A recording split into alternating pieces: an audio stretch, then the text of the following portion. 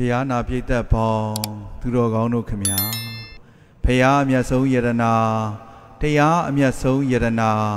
တန်ခါအမျက်ဆုံးယရနာယရနာသုံးပါးဥထိတ်ထား၍သီလကုံတမာတိကုံပညာကုံတို့နှင့်ပြည့်စုံတော်မူသောကျေးဇူးရှင်ဗမောက္ခကျုပ်ဆရာတော်ဘုရားကြီးထံမှတရဏဂုံသုံးပါးနှင့်တကွအင်္ဂါ၅ပါးနှင့်ပြည့်စုံသောသီလတော်မြတ်ကိုခံယူစောင့်တည်ကြရန်အတွက် ဩဃာသကရောကျိုးဖြင့်ညီညာဖြဖြကြောကြပါစို့ခမညာဩဃာသဩဃာသဩဃာသ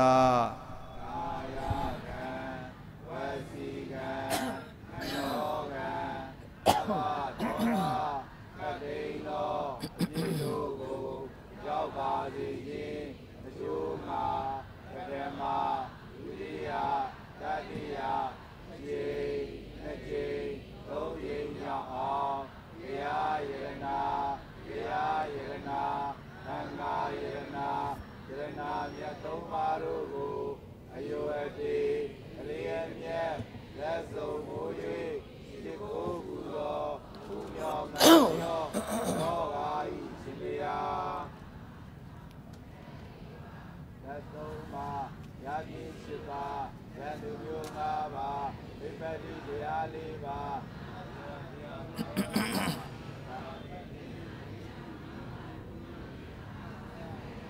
နိဗ္ဗာန်တရားတော်မြတ် ကို ရလို့ဤရှင်ဖေယ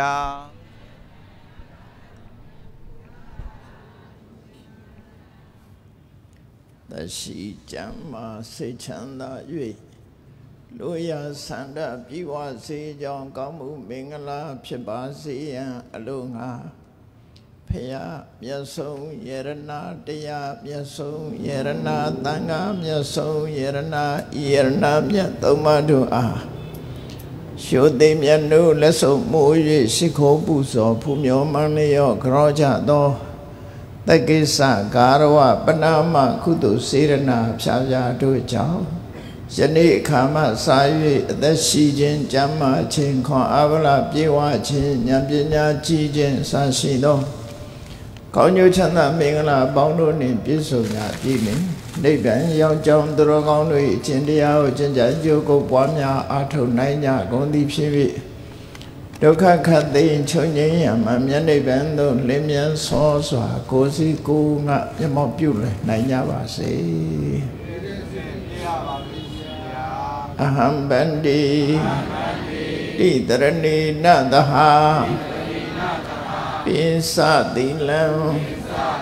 သမ္မယာသာမိ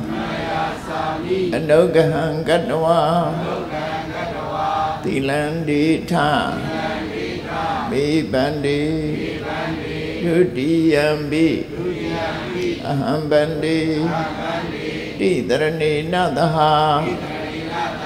ပိစတိလံသမ္မယာသာမိအနုဂံကတဝါသီလံဒီထ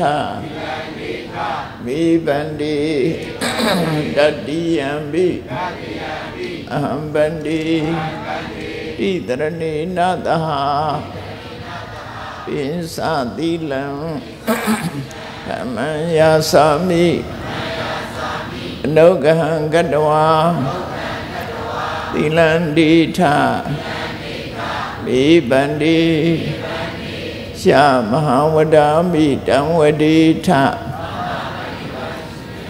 နမောတတဗကဝေတောအရဟတောသမ္မာသမ္ဗုဒ္ဓတ္တ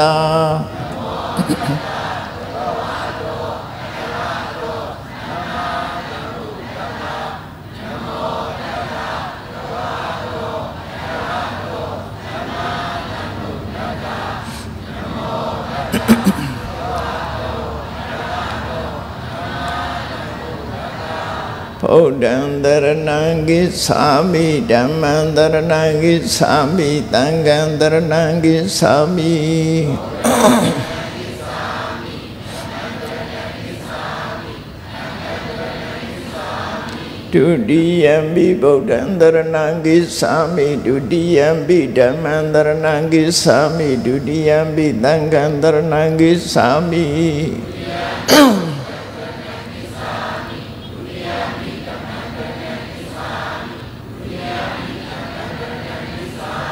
တတိယံပိဗုဒ္ဓံတရဏံကိသာမိတတိယံပိဓမ္မံတရဏံကိသာမိတတိယံပိသံဃံတရဏံကိသာမိ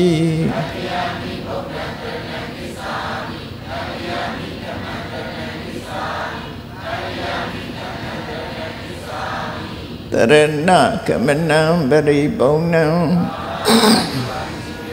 ပါဏာတိပါဒဝေရမဏိသိက္ခာပရံသမာဓိယာမိ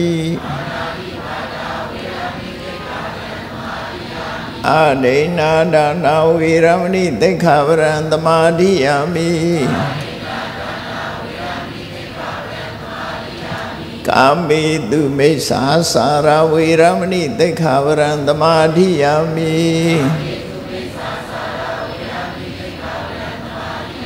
မုဒဝါဒဝေရမဏိသိက္ခာပရံသမာဓိယာမိသူရာမေရယမစ္ဆပမာဒဌာနာဝေရမဏိသိက္ခာပရံသမာဓိယာမိ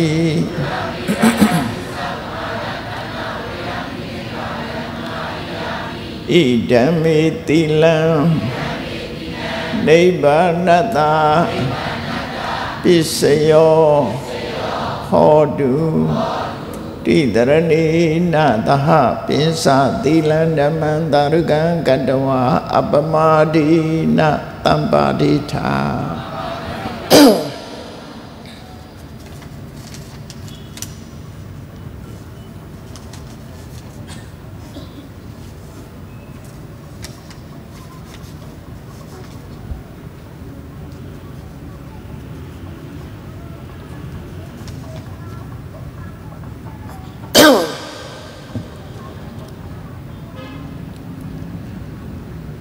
သာသနာတော်နှစ်2563နှစ်ကောဇာတက္ကရာ1382ခုနှစ်တဘိုးရဲလဆန်း2ရက်2020ပြည့်နှစ်ဇန်နဝါရီလ26ရက်တနင်္ဂနွေနေ့မန္တလေးတိုင်းဒေသကြီးချမ်းရည်သာဆန်မြို့နယ်35လမ်း66 69လမ်းကြား ရှမ်းသာရေးနာရေးအသင်းပရုံဧရိယာဓမ္မမန္တအတွင်ဆင်းခြင်းပပြုလုပ်အပ်သည်ရှမ်းတိုင်းရင်သားများသာရေးနာရေးအသင်းမန္တလေးအလုတ်အမှုဆောင်ဖွဲ့၏အထူးဓမ္မပူဇာဓမ္မသဘင်ခန္ဓာ၌ရှမ်းတိုင်းရင်သားများသာရေးနာရေးအသင်းမန္တလေးနှင့် အလုံးအမှုဆောင်ဖွဲ့မှကမကထပြုပြီးဥဆိုင်ဆိုင်ဒေါနမ်းမြစိန်ပိုင် brothers မိသားစုတို့ဤအဝဒဒါနဓမ္မဒါနအဖြစ်ဖြင့်ဟောကြားအပ်သောတရားမြတ်တမှု အကြောင်းတရားဒေသနာတော်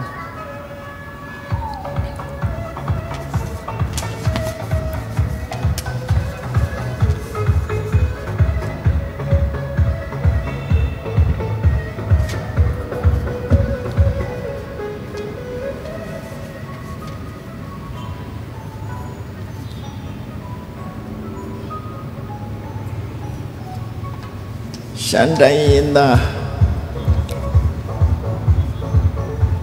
တာရေးနာရေးအသင်အမှုဆောင်ဖွဲ့ကကျင့်ပါတယ်ဒီကနေ့ဓမ္မသဘင်ခန္ဓာမှာ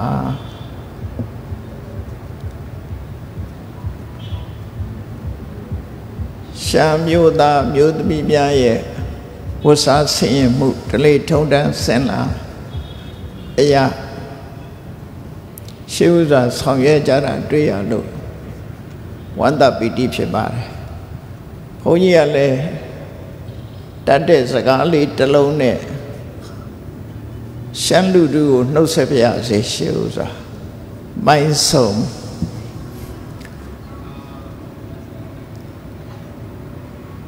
ပြည်တော်စုပွားတိုင်းရင်းသားတွေဟာတုံးနဲ့တူ သွေးချင်းနှောပြီးတော့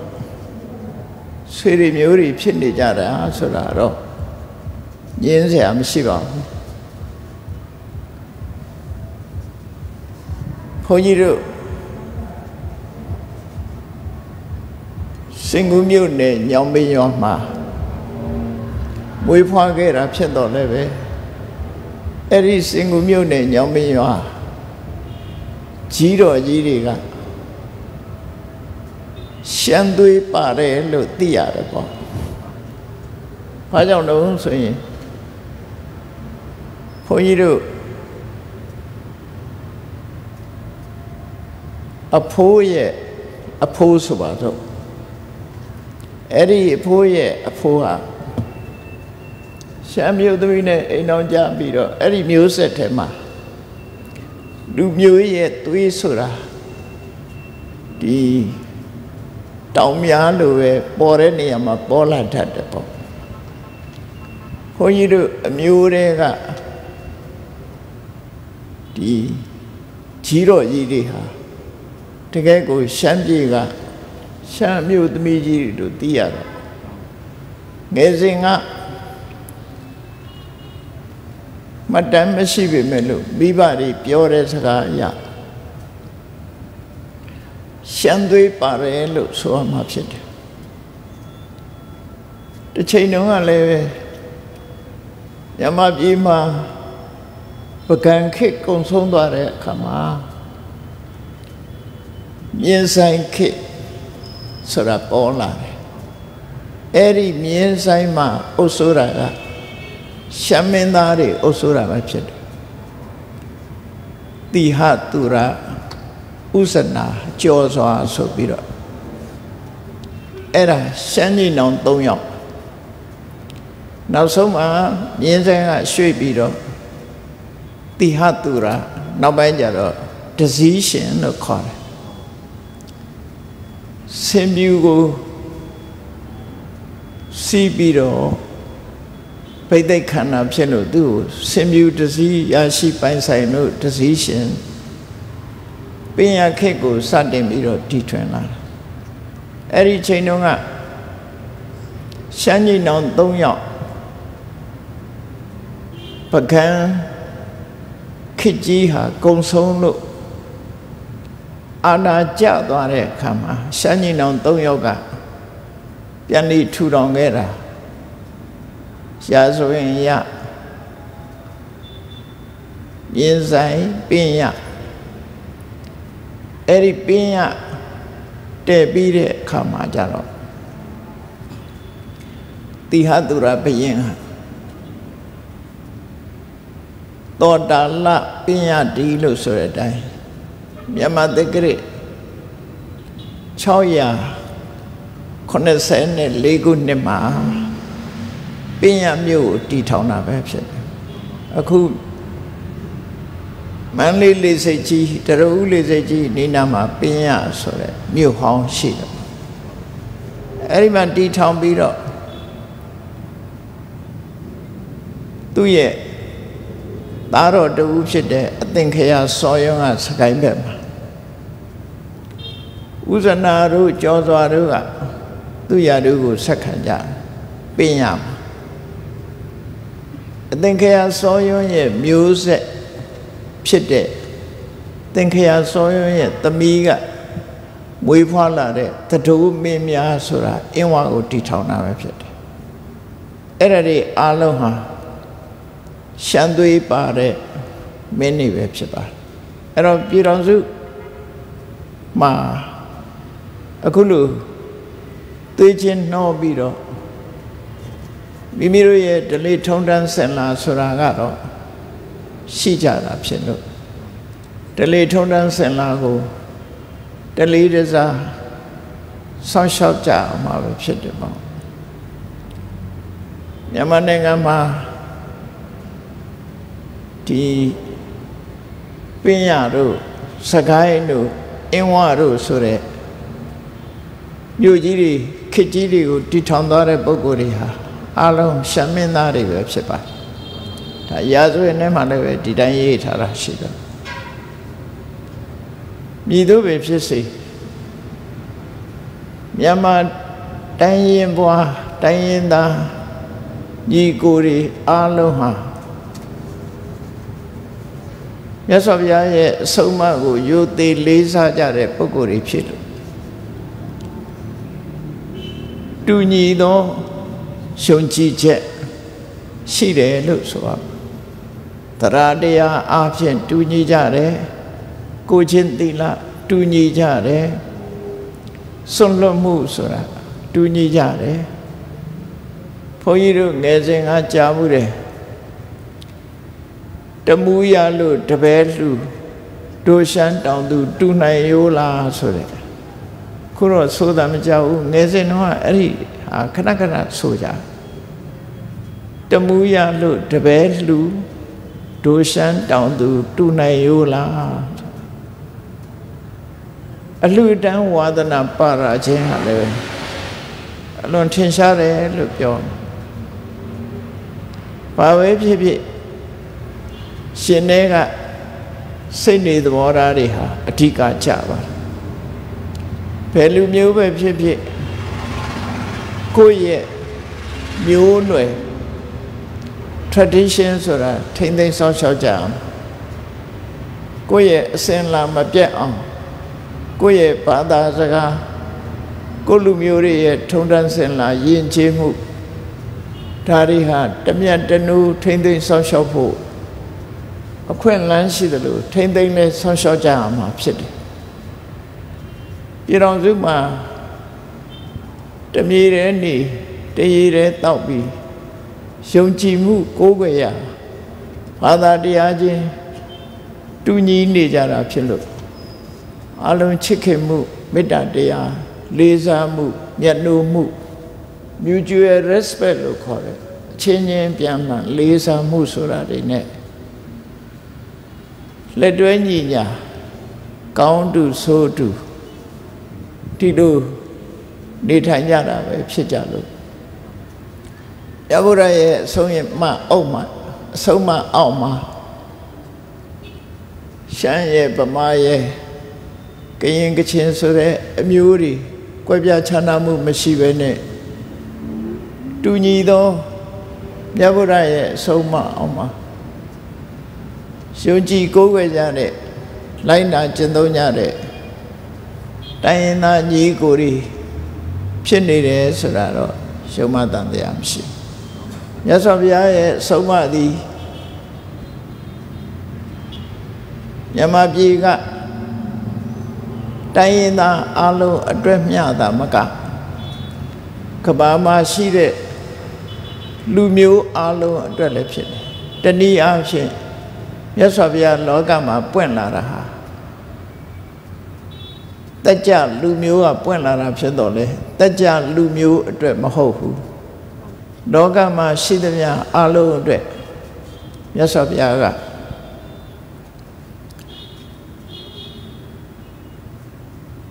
ဘဟုဇနဟိတာယဘဟုဇနဒုက္ခယ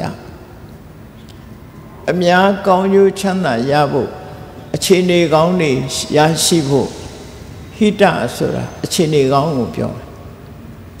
စီးပွားလုပ်ဖို့အခြေအနေကောင်းတယ် ဘဝလမ်းကြောင်းရွေးချယ်ဖို့အခြေအနေကောင်းတယ်အဲ့ဒီအခြေအနေကောင်းတွေအတွက်အခြေအနေကောင်းတွေရမှဒုက္ခဆိုတဲ့ချမ်းသာဒုက္ခရမှာဖြစ်တယ်အများသရဝါတွေအခြေအနေကောင်းမှုအများသရဝါတွေချမ်းသာဖို့လူတွေနတ်တွေလူလောကမှာဖျားပွင့်တာဖြစ်တော့လေလူသားတွေအတွက်သာမဟုတ်ဘူး30ဘုံမှာရှိကြတဲ့ အသိဉာဏ်ရှိကြတဲ့သရဝါတွေအလုံးအတွက်ပွင့်တာဖြစ်လို့တူညီသောအကျိုးခံစားမှုကိုရရှိကြဥပမာဘာနဲ့တူတော့ဆိုရင် ကောင်းကင်ကထွက်ပေါ်လာတဲ့နေမင်းကြီးဟာအလင်းရောင်ကိုဖြန့်ကျက်တဲ့အခါမှာဘယ်လူမျိုးဘယ်နိုင်ငံအတွက်ရလို့မဟုတ်ဘူးအလုံးအတွက်အလင်းရောင်ဖြန့်ကျက်ပေးတာဖြစ်တယ်။ကောင်းကင်ယံကလာပြီးနေမှာပေါ်ထွန်းလာတဲ့ လာမင်းကြီးဟာလေကဘာမှာရှိကြတဲ့လူသားအလုံးအတွက်လှပအောင်တန်းစာဆင်ပေးခြင်းသာလည်းဖြစ်တယ်ဘသူအတွက်ရဲ့လို့ခွဲခြားတာမရှိဘူးအထူးသဖြင့်မြတ်စွာဘုရားရဲ့တရားတော်တွေဟာဟိတနဲ့ဒုက္ခကိုဖော်ဆောင်ပေးတာပဲဖြစ်တယ်ဟိတဆိုတာအခြေအနေကောင်းတာခေါ်တယ်အခြေအနေကောင်းမှဒုက္ခဆိုတဲ့ချမ်းသာကိုရနိုင်တာဖြစ်တယ် အခြေအနေကောင်းဆိုတာဘာပြောလဲမလုတ်တဲ့နာကိုရှောင်ရှားခြင်းနဲ့လုတ်တဲ့နာကိုလှုပ်ဆောင်ခြင်းဒါကိုအခြေအနေကောင်းတယ်လို့ခေါ်တယ်ဘယ်လူမျိုးပဲဖြစ်ဖြစ်မလုတ်တဲ့နာလုံးနေသမျှဆင်းရဲဒုက္ခနဲ့ကြုံတွေ့နေမှာဖြစ်တယ်လှုပ်တဲ့နာမလှုပ်သေးသမျှချမ်းသာဒုက္ခကဆုံးရှုံးလက်လွတ်ဆုံးရှုံးနေမှာပဲဖြစ်တယ်ဒါကြောင့်မို့ဟိတဆိုတဲ့အခြေအနေကောင်းဟာ မလှုပ်တဲ့နာကိုရှောင်ရှားခြင်းလှုပ်တဲ့နာကိုလှုပ်ဆောင်ခြင်းဒီအဓိပ္ပာယ်ရပါအဲ့တော့အခြေအနေကောင်းဆိုတာစီးပွားရှာမဲ့ချိန်စီးပွားရှာတယ်တရားမျှတတဲ့စီးပွားကိုရှာတယ်ကိုချင်းသီလမပြည့်စီးပွားရှာတယ်ဒါအခြေအနေကောင်းတွေပညာသင်ရမယ့်အချိန်ပညာသင်တယ်ဒါအခြေအနေကောင်းတွေကိုလူမျိုးကိုဘာသာစကား ကိုယဉ်ကျေးမှုကိုထိမ့်သိမ်းဆောင်ရှောက်တယ်ဒါအခြေအနေကောင်းတွေအဲ့ဒီအခြေအနေကောင်းတွေကိုဖော်ဆောင်နိုင်မှလူမျိုးတစ်မျိုးတိုးတက်ဖြစ်ပွားနိုင်တာပဲဖြစ်တယ်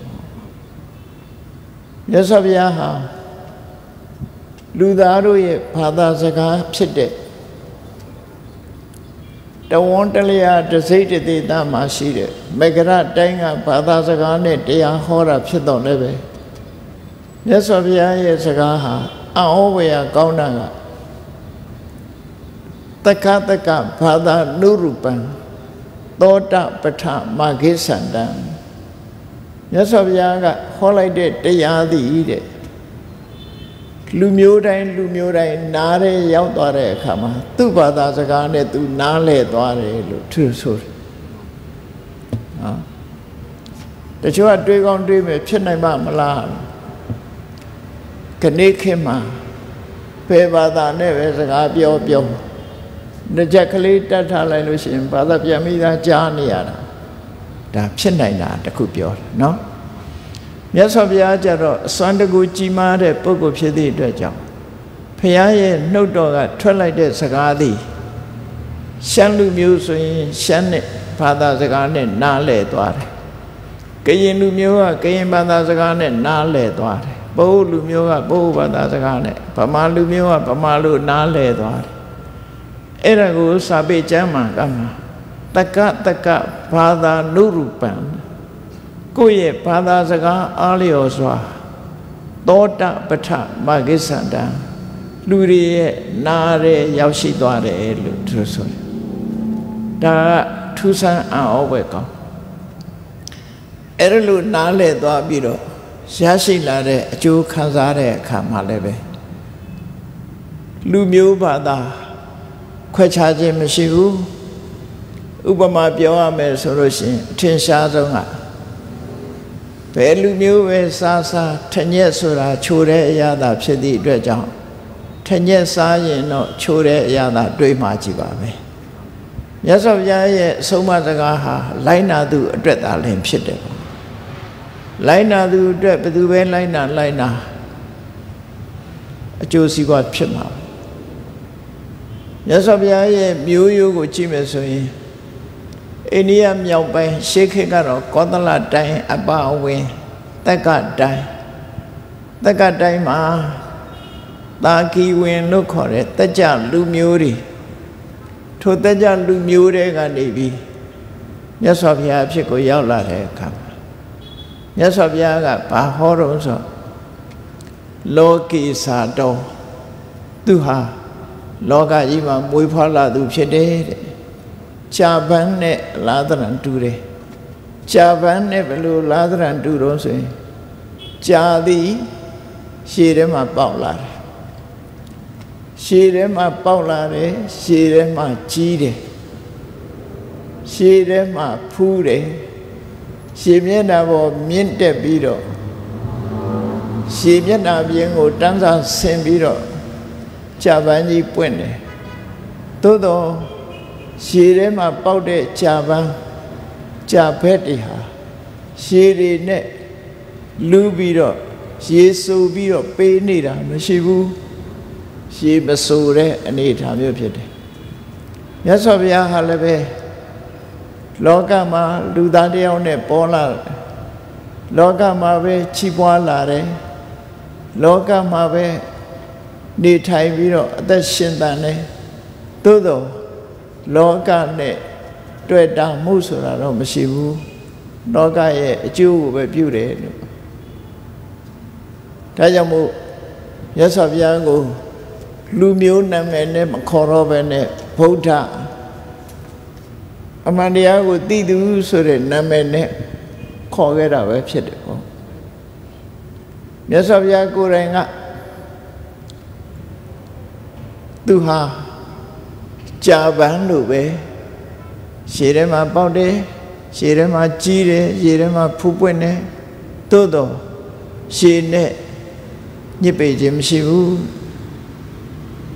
ဒါကြောင့်အဗဒန်တန်းစင်တဲ့ ဘဝမျိုးကိုရပြီကြာပန်းသည်ရေကိုလှပစေသလိုရေကန်ကြီးကိုလှပစေသလိုမြတ်စွာဘုရားဟာလောကကိုအလှဆင်ပေးတဲ့ပုဂ္ဂိုလ်ပဲဖြစ်တယ်မြတ်စွာဘုရားရဲ့အဆုံးအမကိုလိုက်နာကျင့်သုံးတဲ့ပုဂ္ဂိုလ်တိုင်းပုဂ္ဂိုလ်တိုင်းဟာလောကအလယ်မှာမျက်နှာလှသူတွေပဲဖြစ်တယ်ပေါ့ဘဝတန်တရားနဲ့ပတ်သက်လာလို့ရှိရင်လည်းပဲတူညီသောဆုံးမစကားကိုမှတ်သားကြရမှာဖြစ်တယ် ဘုရားဘာသာဝင် ဖြစ်လာလို့ရှိရင်မြတ်စွာဘုရားကိုကြီးညိုလေးစားတဲ့ပုဂ္ဂိုလ်တိုင်းပုဂ္ဂိုလ်တိုင်းဟာကံတရားနဲ့ကံတရားရဲ့အကျိုးကိုယုံကြည်လက်ခံတဲ့ပုဂ္ဂိုလ်ပဲဖြစ်တယ်နော်ကံတရားဆိုတာကုသိုလ်ကံအကုသိုလ်ဆိုကံဆိုတာကိုအတိမတ်ပြုတယ်ထိုကုသိုလ်ကံအကုသိုလ်ကံရဲ့အကျိုးတရားကိုလည်းပဲအတိမတ်ပြုတယ် လူတိုင်းဟာအတိမတ်ပြုသလားလို့ဆိုဘာသာတိုင်းဟာအတိမတ်ပြုသလားဆိုရင်ဘာသာတိုင်းကကံတရားနဲ့ကံဤအကျိုးတရားကိုအတိမတ်မပြုဘူးငင်းကွယ်တဲ့ဘာသာတွေရှိတယ်သို့တော့ဘုရားဘာသာဝင် ဖြစ်လာတဲ့ပုဂ္ဂိုလ်တိုင်းပုဂ္ဂိုလ်တိုင်းဟာတူညီသောယုံကြည်မှုဟာကံတရားကိုယုံကြည်ခြင်းနဲ့ကံဤအကျိုးတရားကိုလက်ခံခြင်းပဲဖြစ်တယ်ပေါ့ ကံတရားနဲ့ပတ်သက်ပြီးတော့မြတ်စွာဘုရားကဘယ်လိုဟောတော့ဆိုရှံကမ္မံဂရိတန္တိကလျာဏံဝါပပကံဝါတတကမ္မတထာယာဓာဘဝိတမဘယ်ပုဂ္ဂိုလ်ပဲဖြစ်ဖြစ်ကောင်းတဲ့အလုပ်မကောင်းတဲ့အလုပ်အလုပ်နှမျိုးရှိတဲ့ထဲမှာမကောင်းတဲ့အလုပ်ကိုလုပ်ရင်မကောင်းတဲ့ဆိုးချိုးကိုအမွေခံရမှာဖြစ်တယ်။ ကောင်းတဲ့အလုပ်ကိုလုပ်လို့ရှိရင်ကောင်းကျိုးချမ်းသာကိုအမွေခံရမှာပဲဖြစ်တယ်လို့ကံတရားနဲ့ပတ်သက်ပြီးမြတ်စွာဘုရားတိတ်လို့ဟောတယ်။အဲ့တော့ကိုယ့်ဘကိုယ်လည်းပဲစင်ញင်စဉ်းစားကြည့်မယ်ဆိုရင်ဘုန်းကြီးတို့တွေနေ့စဉ်စိတ်ထဲကကြံစီကြတယ်။နှုတ်ကထုတ်ပြောကြတယ်ကိုယ်ဒီလည်းအောင်လှုပ်ကြတယ်အဲ့ဒီစိတ်ကူးကြံစီခြင်းဟာလည်းပဲ action တစ်ခုပဲ ပြုလုပ်ခြင်းပဲအဲ့ဒါကိုလည်းကံလို့ခေါ်တယ်စိတ်ကူးနေတာကိုမနောကံလို့ခေါ်တယ်စိတ်ကူးတဲ့အတိုင်းနှုတ်ကထုတ်ပြောတာကိုဝစီကံလို့ခေါ်တယ်စိတ်ကူးကြံစီတဲ့အတိုင်းနှုတ်ကပြောတဲ့အတိုင်းကိုယ်ဒီလည်းရောက်ပြုတ်လို့တာကိုကာယကံလို့ခေါ်တယ်။တော့အစဉ်တိုင်းပြောမယ်ဆိုရင်မနောကံဝစီကံကာယကံ ပြောရဆိုစဉ်နဲ့ပြောမယ်ဆိုရင်ထင်ရှားဆုံးကနေစပြောရင်ကာယကံဝစီကံမနောကံနော်ဖြစ်စဉ်နဲ့ပြောမယ်ဆိုရင်မနောကံဝစီကံကာယကံပြောဟောတဲ့အစဉ်နဲ့ပြောမယ်ထင်ရှားတာကစပြောမယ်ဆိုရင်လောကမှာထင်ရှားဆုံးကတော့ကာယကံကာယကံဝစီကံမနောကံအဲ့ဒီကံသုံးပါးနဲ့လှုပ်တဲ့အခါမှာ စိတ်ကူးတာကအကောင်းကြီးပဲကူးသလားအပြစ်ကင်းတာတွေကြီးပဲကူးသလားဆိုမဟုတ်ဘူးကောင်းတာလဲစိတ်ကူးတယ်မကောင်းတာလဲစိတ်ကူးတယ်ကောင်းမကောင်းဆိုတာကိုကြိုက်မကြိုက်နဲ့မဆိုင်ဘူးအပြစ်ရှိမရှိနဲ့ပဲဆိုင်တယ်ပေါ့နော်ကောင်းကျိုးချမ်းသာဖြစ်စေနိုင်မဖြစ်စေနိုင်တဲ့ဆိုင်အဲ့တော့ကိုယ်စိတ်ကူးတဲ့စိတ်ကူးဟာ တစ်ဖက်သားကိုလည်းမထိခိုက်ဘူးကိုယ်ကိုလည်းမထိခိုက်ဘူးဘယ်သူကိုမှဒုက္ခရောက်အောင်လုပ်တာမဟုတ်ဘူးအလုံးကောင်းမှုအတွက်စိတ်ကူးတယ်ဆိုလို့ရှိရင်ဒီကရဲ့မနောကံဟာကောင်းတဲ့မနောကံလို့ခေါ်တယ်ဆိုပါစို့အလုံးအစဉ်ပြေဖို့ချမ်းသာဖို့ဘဝမှာအစဉ်ပြေဖို့ စိတ်ကူးတယ်ဆိုလို့ရှိရင်ဒါမေတ္တာမနောကံဖြစ်တယ်တရားတွေပေါ်မှာဘသူပေါ်မှာအမုန်းတရားမရှိဘူးရှင်တဲ့ကအလုံးပေါ်မှာမကျေနပ်တဲ့စိတ်တွေမရှိဘူးအလုံးကိုကောင်းစားစေခြင်းနဲ့ကြီးပွားစေခြင်းနဲ့ဒါဟာမေတ္တာစိတ်အဲ့ဒီမေတ္တာနဲ့တွေးတောသမျှဟာကောင်းသောစိတ်ကူးလို့ပဲပြောအောင်ဖြစ်တယ်မကောင်းတဲ့စိတ်ကူးဆိုတာဘာတော့ လောဘနဲ့တွေးတယ်ဒေါသဆိုတဲ့အမုန်းစိတ်နဲ့တွေးတယ်မောဟဆိုတဲ့အမှန်မသိတဲ့စိတ်နဲ့တွေးတယ်အိတ်သားဆိုတဲ့တူကောင်းစားတာကိုမလိုလားတဲ့မရှုစိတ်နဲ့စိတ်နဲ့တွေးတယ်မစ္စရိယဆိုရယ်ကိုချိုးသာကြည့်တတ်တဲ့စိတ်နဲ့တွေးတယ်ဆိုရင်ဒါမကောင်းတဲ့အတွေးလို့ခေါ်တယ်မကောင်းတဲ့စိတ်ပဲ အဲ့ဒီကောင်းတဲ့အတွေးမကောင်းတဲ့အတွေးပေါ်မှာထပ်ဆင့်ပြီးတော့နှုတ်ကထွက်လာတဲ့စကားဟာလည်းပဲကောင်းတဲ့စကားမကောင်းတဲ့စကားဖြစ်ပေါ်လာအလုံးတ attva တွေအစဉ်ပြေကြပါစေအလုံးကောင်းစားကြပါစေဆင်းရဲဒုက္ခမှလွတ်ကြပါစေအစဉ်ပြေကြပါစေလို့နှုတ်ကနေထုတ်ဆိုပြီးတော့ပြောရင်ကောင်းတဲ့ဝစီကံဖြစ်တယ်အဲ့ဒါလို့မဟုတ်ဘူး ဘယ်သူဖြင့်ဒုက္ခရောက်သွားပါစေဒီလူဟာကြည့်မရဘူးဒီလူဒုက္ခရောက်ပါစေအခက်ခဲတွေကြုံပါစေလို့နှုတ်ကနေထုတ်ပြီးတော့ဘသူတော့ဒုက္ခရောက်အောင်လုံးလိုက်မယ်ဘသူတော့ဆဲရေးလိုက်မယ်တိုင်းထွာလိုက်မယ်အဆက်ခွဲလိုက်မယ်ဆိုဒါမကောင်းတဲ့ဝစီကံဖြစ်သွားလိန်ပြောတယ် တုံးနဲ့တုံးမတွေ့အောင်ဂုံတိုက်တယ်ဆဲတယ်အကျိုးမရှိတဲ့စကားတွေပြောတယ်ဒါမကောင်းတဲ့ဝစီကံလို့ခေါ်တယ်အဲ့ဒါလို့မဟုတ်ဘူးမန္တာကိုပဲပြောတယ်ဘယ်တော့မှလိမ်မပြောဘူးဘယ်တော့မှတယောက်နဲ့တယောက်မတည့်အောင်ဂျင်းမထည့်ဘူးเนาะချွန်တုံးမလုပ်ဘူးဒါဟောကောင်းတဲ့ ဝစီကံနေဖြစ်တယ်ဘယ်သူကမှမဆဲဘူးဆဲတိုင်းထွာမှုမလုပ်ဘူးရှင်ကြီးလိမ္မာစွာပြောတယ်အကျိုးနဲ့အကြောင်းနဲ့ဘဝမှာတန်ဖိုးရှိတဲ့စကားတွေကိုသာပြောတယ်ဆိုရင်ဒါကောင်းတဲ့ဝစီကံလို့ခေါ်တယ်မြတ်စွာဘုရားကဆုံးမတယ်လူတိုင်းလူတိုင်းဟာ အရာစကားနဲ့ပြောမယ်ဆိုရင်ပါဇက်ပါတယ်ပါဇက်ကဘာလှုပ်ထတော့လို့မေးလို့ရှိရင်ထမင်းစားဖို့နဲ့စကားပြောဖို့ပဲ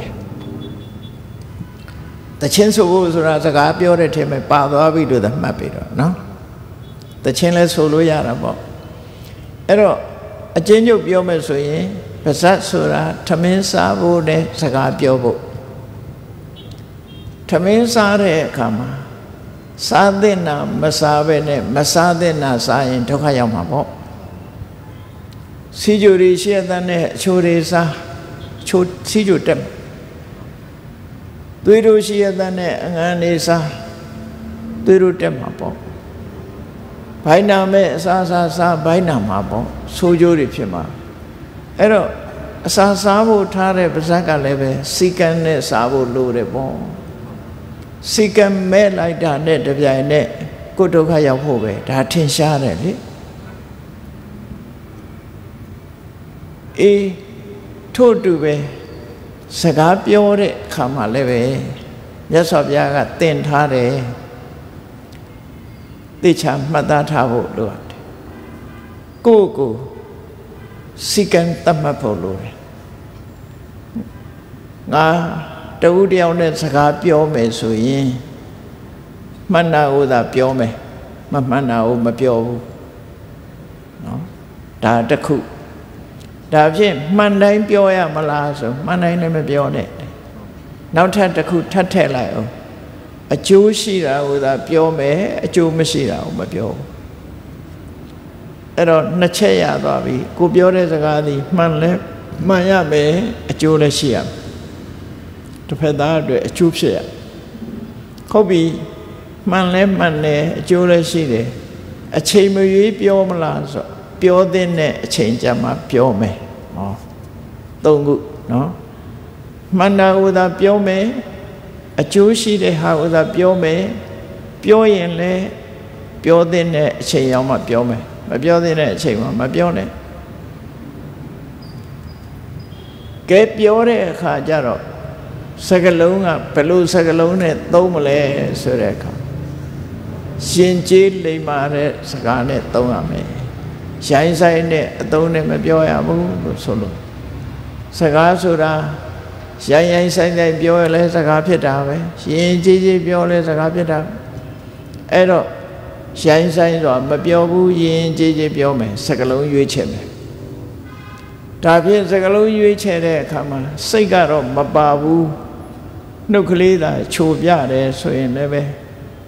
မဟုတ်သေးဘူးဒါကြောင့်မို့စိတ်ပါထည့်လိုက်ဘလို့မုန်းထားတဲ့ဒေါသစိတ်နဲ့မပြောဘူးခင်မင်နဲ့မေတ္တာစိတ်နဲ့ပြောမယ်ဟောငါးချက်နဲ့ပြည့်စုံကိုပြောတဲ့စကားသည်နော်ကိုပြောတဲ့စကားကိုအဓိကထားပြီးတော့ပြောရင်အဲ့ဒီဝစီကံဟာအကောင်းဆုံးဝစီကံဖြစ်တာ မန္နာကိုသာပြောမယ်အကျိုးရှိတာကိုသာပြောမယ်ပြောတဲ့အချိန်ရောက်မှပြောမယ်ယဉ်ကျေးလိမ္မာစွာပြောမယ်မေတ္တာစိတ်နဲ့ပြောမယ်အဲ့ဒါလို့နှလုံးသွင်းပြီးပြောမယ်ဆိုရင်ကိုပြောတဲ့ဝစီကံသည်အကောင်းပဲဖြစ်တယ်အဆိုးပဲဖြစ်ဘူးတို့ဆိုဒါမြတ်စွာဘုရားရဲ့အဆုံးအမပဲဒီထဲကတစ်ခုခု ချိုယွင်းလိုက်တာနဲ့တပြိုင်နက်မန္တာကိုမပြောဘူးမဟုတ်တာတွေကိုပြောတယ်ဆိုလို့ရှိရင်ဒါအဖြစ်ဖြစ်သွားကိုယ်စကားဟာမမမကန်တာတွေပြောတယ်အကျိုးမဖြစ်တာတွေကိုပြောတယ်မပြောတဲ့အချိန်လျှောက်ပြောတယ်ရိုင်းရိုင်းဆိုင်ဆိုင်ပြောတယ်ဒေါသနဲ့ပြောတယ်ဆိုတော့မှစကားကောင်းမဖြစ်ဘူးစကားကောင်းမဖြစ်ဘူးအဲ့တော့အကောင်းဖြစ်အောင် တတိဆောင်ကြရမှာပဲဖြစ်တယ်ဟောဒါကိုပြောတာကာယကံဝစီကံအဲ့တော့ကောင်းတာလုပ်ရင်လည်းကောင်းကျိုးပဲကောင်းတာပြောရင်လည်းကောင်းကျိုးပဲမကောင်းတာလုပ်ရင်မကောင်းကျိုးမကောင်းတာပြောရင်မကောင်းကျိုးဆိုတာချက်ချင်းရတဲ့အကျိုးရှိတယ်တဖြည်းဖြည်းဖြစ်လာတဲ့အကျိုးရှိတယ်ဘယ်ရာပဲဖြစ်ဖြစ်အဲ့ဒါကိုလက်ခံယုံကြည်တဲ့ဝါဒကမ္မဝါဒလို့ခေါ်တယ် လုတ်ပြီးဆိုတဲ့အခါမှာလည်းကြည့်ကိုယ့်ရဲ့ပြုလုပ်မှုကြောင့်တစ်ဖက်သားအထီးကိုက်နန်းနေရသွားတယ်အသက်သေးဆုံးသွားတယ်မကောင်းဘူးနော်ကိုလှုပ်လိုက်လို့တစ်ဖက်သားနစ်နာသွားတယ်မကောင်းဘူးကိုလှုပ်လိုက်လို့တစ်ဖက်သားရဲ့စီးပွားဥစ္စာပစ္စည်းတွေဆုံးရှုံးသွားတယ်မကောင်းဘူးကိုလှုပ်လိုက်လို့တစ်ဖက်သားဂုံတိတ်ခါကြာဆင်းသွားတယ်လူကြားတဲ့အရှက်ရသွားတယ် မကောင်းဘူးခုနကဆောက်တည်သွားတဲ့အထက်မှာပြောမယ်ဆိုရင်ပါဏာတိပါတာအဒိဏဒါနကာမေတုမိစ္ဆာစာအဲ့ဒါကိုလုံးလိုက်လို့တစ်ဖက်သားထိခိုက်သွားတာပါဏာတိပါတာကိုလုံးလိုက်လို့တစ်ဖက်သားရဲ့ပစ္စည်းဥစ္စာတွေဆုံးရှုံးသွားတယ်အဒိဏဒါနကိုလုံးလိုက်လို့တစ်ဖက်သားတိတ်ခါကြပြီးလူလေကောင်မှအရှက်ရသွားတာကာမေတုမိစ္ဆာစာ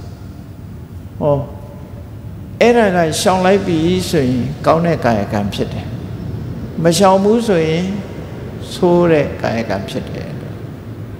ဘုရားဘာသာဝင်တိုင်းအတွက်မြတ်စွာဘုရားသည်ကောင်းတဲ့အလုံးနဲ့မကောင်းတဲ့အလုံးအခုပြောတဲ့တည်းမဲ့မလုံသင့်တာနဲ့လုံသင့်တာမပြောသင့်တာနဲ့ပြောသင့်တာမတွေးသင့်တာနဲ့တွေးသင့်တာ နှမျိုးနှမျိုးခွဲခြားထားပြီးတော့မတွေးတဲ့နာဆိုရင် မတွေးပါနဲ့မပြောတဲ့နာဆိုရင် မပြောပါနဲ့မလှုပ်တဲ့နာဆိုရင် မလှုပ်ပါနဲ့ဟောလှုပ်တဲ့နာတွေးတဲ့နာကို တွေးပါ ပြောတဲ့နာကိုပြောပါလှုပ်တဲ့နာကိုလှုပ်ပါလို့ဆိုကောင်းတဲ့ကာယကံဝစီကံမနောကံဖြစ်တယ်ပေါ့ ကောင်းတဲ့အရာလုပ်လို့ရှိရင်ကောင်းကျိုးချမ်းသာဟာဒီပြုလုပ်ခြင်းကြောင့်ဖြစ်ပေါ်လာမှာဖြစ်တယ်အဲ့ဒါကိုလက်ခံယုံကြည်တာကမ္မဝါဒဘုရားဘာသာဖြစ်လာလို့ရှိရင်လက်ခံယုံကြည်ရမှာပဲဖြစ်တယ်ပေါ့ဒီအချက်မှာလူမျိုးဘာသာခွဲခြားမှုဘာတစ်ခုမှမရှိဘူးတဘာဝတရားအောက်မှာတူညီတယ် အဘောယံသာခွဲခြားနေကြတာဖြစ်တယ်အားလုံးဟာလူဆိုသမျှရှုံးတဲ့နာနှစ်ခုပေါင်းစပ်ထားတဲ့အရာသာဖြစ်တယ်ထိုပေါင်းစပ်ထားတဲ့လူသားကိုပဲရှုံးတဲ့နာလို့မမြင်မဲနဲ့ဘယ်သူပဲပဲဝါပဲခွဲခြားလာတဲ့အခါမှာအဆိုးတရားတွေဟာဖြစ်ပေါ်လာနိုင်တယ်ပေါ့ဒါကြောင့်မို့ အလုံးခြုံငုံကြည့်လိုက်ပဲဆိုရင်မြတ်စွာဘုရားရဲ့ဆုံးမသဘာဝတရားတွေဟာအလုံးရဲ့အတွက်ဖြစ်တယ်ဒါကြောင့်အနှစ်ချုပ်အနေနဲ့ဒီကနေ့ဟောပြောချင်တာကတရားမြတ်တာမှုဆိုတာနော်မတရားမှုနဲ့တရားမြတ်တာမှုတရားမြတ်တာတယ်မတရားဘူးဆိုတာရဲ့ ဒီနှစ်ခုကဘာချောင်ရှိနေတာလူသားတွေရဲ့အလဲမှသာမဟုတ်တတ္တလောကကြီးတစ်ခုလုံးမှာတရားမြတ်တာမှုဆိုတာပါဠိလိုဓမ္မစရိယာရှမ်းမျိုးသားတွေတန်ထွက်မယ်ဆိုရင်ဓမ္မကြရိယာလို့ထွက်မှာတယ်နော်ဓမ္မကြရိယာဓမ္မစရိယာဆိုတာ တရားမြတ်တဲ့အကျင့်တရားနိလန်အတိုင်းကျင့်သုံးမှုဓမ္မစရိယာလို့ခေါ်တယ်။သမစရိယာဆိုတာမြတ်မြတ်တတလှုပ်ဆောင်ကျင့်သုံးမှုဒီဓမ္မစရိယာသမစရိယာမြတ်တပြီးတော့တရားမြတ်တမှုဟာဘာကြောင့်ဖြစ်အကြောင်းမဲ့ဖြစ်လာသလား အဲ့ဒါရဲ့စမ်းကြည့်မဲ့မတရားမှုနဲ့မမျှတမှုဆိုတဲ့ဘာကြောင့်ဖြစ်လာအကြောင်းမဲ့ဖြစ်တာလားမြတ်စွာဘုရားမတရားမှုကိုအဓမ္မစရိယာလို့မမျှတမှုကိုဝိသမစရိယာလို့ဒီစကားနဲ့သုံးပြီးတော့ဟောတာဖြစ်တယ်မမျှမတဖြစ်တာဘာကြောင့်ဖြစ်ရ မတရားတာဘာကြောင့်ဖြစ်လာအကြောင်းမဲ့ဖြစ်တာမဟုတ်ဘူးတဲ့ဒီမေခွန်းနဲ့ပတ်သက်ပြီးတော့မြတ်စွာဘုရားဟာဝေသာလိနိုင်ငံမဟာဝနဆိုတဲ့တောအုပ်ကြီးထဲမှာရှိတဲ့ကုတာခရသာလာဆိုတဲ့ကျောင်းမှာသတင်းသုံးနေတဲ့အချိန် အဲ့ဒီဝေသာလိမှာအုပ်ဆိုးတဲ့မင်းနေထဲမှာမဟာလိဆိုတဲ့လိဆွေမင်းသားကြီးဟာထင်ရှားတယ်အဲ့ဒီမဟာလိဆိုတဲ့လိဆွေမင်းသားခေါင်းဆောင်တဦးဖြစ်တယ်သူကမြတ်စွာဘုရားစီရောက်တဲ့အခါမှာမေကွန်မေးတယ်အဲ့ဒီမေကွန်ကိုမြတ်စွာဘုရားဖြေထားတယ်သူမေးတဲ့မေကွန်ကဘာတော့ဆိုရင် လောကမှာတဲ့ဆိုးရုပ်တဲ့အလုပ်တွေတရားမမျှတာတဲ့မတရားမှုလုပ်ရက်တွေဘာကြောင့်ဖြစ်နေရသလဲဒီမေကုန်းကိုအရင်မေးတယ်နောက်ပြီးတဲ့အခါမှာတရားမျှတမှုနဲ့ဆိုတဲ့အလုပ်တွေရောဘာကြောင့်ဖြစ်နေရသလဲမတရားမှုတွေကဘာကြောင့်ဖြစ်သလဲ တရားမျှတမှုတွေကရောဘာကြောင့်ဖြစ်နေသလဲမြတ်စွာဘုရားကိုဒီမေကုန်းမေးတာအဲ့တော့မေးတော့မြတ်စွာဘုရားဘာနဲ့ဖြည့်ခဲ့သလဲဆိုတာကိုမှတ်သားဖို့ဒီကနေ့နော်ဒီတုတ်တန်ကမဟာလိတုတ်တန်လို့ခေါ်တယ်သူ့နာမည်နဲ့ပဲပေးထားတာနိကေ9ရက်ထဲမှာအင်္ဂုတ္တရနိကေလို့ဆိုတဲ့ တုတ်ပေါင်း9000ကျော်ရှိတဲ့နိကေထဲမှာမှတ်တမ်းတင်ထားတာဖြစ်တယ်အချက်ဆယ်ချက်ပါတာဖြစ်သည့်အတွက်ကြောင့်တတကနိဖတ်လို့ခေါ်တဲ့ဆယ်စုသတ်မှတ်ထားတဲ့အခန်းထဲမှာပါရှိတယ်ပေါ့နော်အဲ့ဒီမှာပထမဆုံးတရားမမြတ်တမှု မလုံးတဲ့အလုပ်တွေကိုလုံနေမှုတွေဟာဘာကြောင့်ဖြစ်သလဲမကောင်းတဲ့ဘက်ကိုအရင်မေးတော့မြတ်စွာဘုရားဖြေတာလေးကိုအချင်းချုပ်လေးပဲမှတ်ကြည့်လိုက်တရားမမြတ်တမှုတွေဖြစ်နေတဲ့အဓိကအကြောင်းရင်းကဘာလဲလို့ဆိုရင်နံပါတ်1ကလောဘလူတွေရဲ့စိတ်ထဲမှာလိုချင်တက်မဲ့မှု လောဘဆိုတာတရားတဲ့လောဘဆိုတာမရှိဘူးလောဘမှန်ရင်မတရားတဲ့လောဘကြီးပဲအကုန်နော်ဘာကြောင့်မတရားဘူးလို့ပြောတာတွေ့တာမှုတွေလိုချင်မှုတွေသိမ့်ပိုက်မှုတွေဟာဒါလောဘတွေပဲဒီကနေ့ခေတ်တေချာစဉ်းစားကြည့်လိုက်အနောက်တိုင်းနိုင်ငံတွေမှာဘာကြောင့်လက်နက်ကြီးတွေတကားကားနဲ့စစ်ပြင်နေကြလဲသိလား အမေရိကန်ကအီရတ်ကိုဘာကြောင့်ဝင်တိုက်တယ်လဲနော်ရခိုင်တော့ကနိုင်ငံတွေကိုဝင်ရောက်ပြီးတော့တိုက်တယ်ဘာကြောင့်တိုက်လဲခွန်ကြီးတို့ဂျာမနီနိုင်ငံရောက်တော့ကအီရတ်နိုင်ငံကိုအမေရိကန်ဝင်တိုက်ပြီးကစားဂျာမနီရောက်တော့မေးကြည့်တယ်ဂျာမနီကိုမေးကြည့်တယ်ဘာဖြစ်လို့အီရတ်ကိုအမေရိကန်တိုက်တာတော့ တခြားအမေရိကန်အကြောင်းပြတာတော့သူ့နီးနဲ့သူ့အကြောင်းပြမယ်ဂျာမန်လူမျိုးတွေဘုန်းကြီးမေးတိုင်းဖြေတဲ့မေးအဖြေကတော့ဘာလို့ဆိုရေနံလိုချင်လို့တဲ့အဲ့လိုပဲဖြေတယ်နော်အမေရိကန်ပိုင်တဲ့ရေနံတွင်းနေရှိတယ်လေအဲ့ဒီရေနံတွေကိုလက်ဝကြီးအုပ်ချင်လို့တိုက်တာလို့သူတို့ကအဲ့တိုင်းကြီးပဲဖြေတယ်အကုန်လုံးနော်ဝိုင်းမယ်သူတို့ဒါအုပ်လို့ချင်တာနော် ဘာပဲဖြစ်ဖြစ်လောကမှာလက်နဲ့ကင်ပြီးတော့ကာကွယ်တယ်ဆိုတာဘာကိုကာကွယ်နေတာတော့ကိုယ်အကျိုးစီးပွားကိုကာကွယ်တယ်ပြောတယ်ကိုယ်အကျိုးစီးပွားကိုကာကွယ်တယ်ကိုယ်အကျိုးစီးပွားကိုကာကွယ်တယ်ဆိုတဲ့လှပ်ပါတဲ့စကားလုံးကိုသုံးပြီးတော့လောဘနဲ့နဲ့ချဲ့ခြင်းသာလည်းဖြစ်တယ်အဓိကကမရသေးတာကိုရခြင်းနဲ့ရပြီးရင်သိမ့်ပိုက်ထားခြင်းနဲ့အဲ့ဒါ လောဘလို့ခေါ်တယ်ပေါ့နော်